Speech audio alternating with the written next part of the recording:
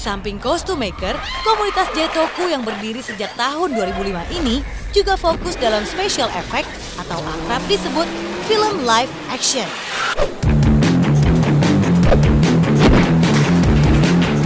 Seperti film pendek Satria Baja Amar.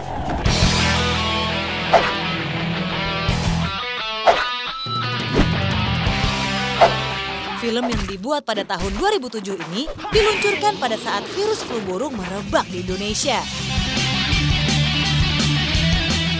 Satria Baja Amar sendiri diangkat dari seseorang yang sedang melakukan penelitian terhadap virus H5N1 atau avian influenza. Kemudian dirinya menjadi kelinci percobaan dengan menggunakan H5NX yang mengubah dirinya menjadi sosok ayam super. Petualangan Satria Baja Amar adalah menumpas monster-monster jahat akibat mutasi.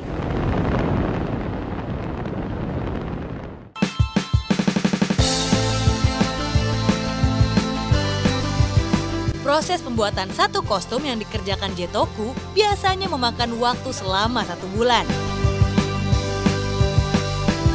Dimulai dari tahap pembuatan sketsa yang bisa datang dari inspirasi maupun adaptasi tokoh pewayangan. Pemotongan pola, lalu menjahit sebuah kostum.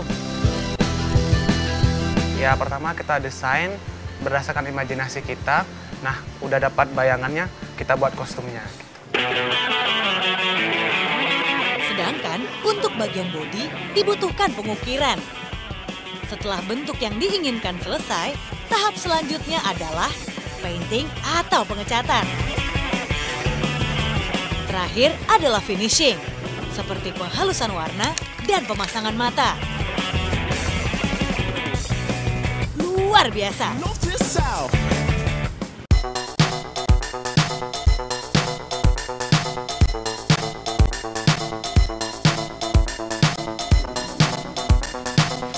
Tahap fitting tentu tidak boleh ketinggalan.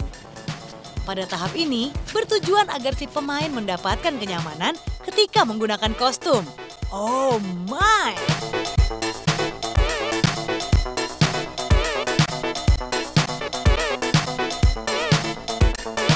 Fitting itu fungsinya itu adalah untuk menyesuaikan bentuk si pemakai dengan karakternya agar nanti waktu lokasi di lokasi nanti tidak ada kesalahan sama sekali.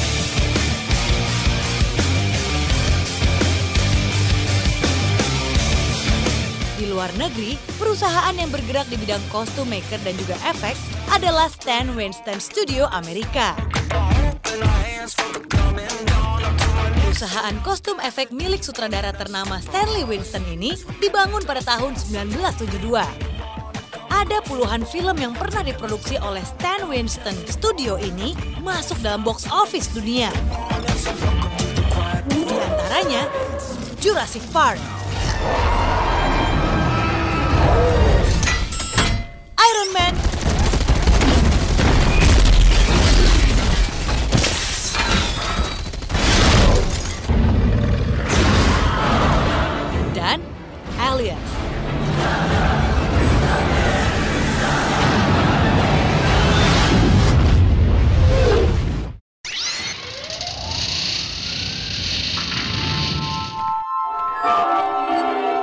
Pada tahun 2007, Jetoku membuat film indie yang berjudul LEC.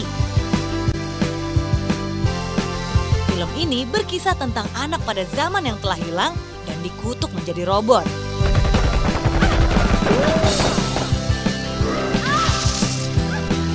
Seperti pada Malin Kundang yang dikutuk ibunya menjadi batu. LEC kemudian turun ke bumi untuk memohon ampun leluhurnya. Namun, sebagian bangsa LEC malah ingin menghancurkan bumi. Sehingga muncullah sosok superhero LEC yang ingin melindungi bumi, yaitu Guntur Bot dan Ozona.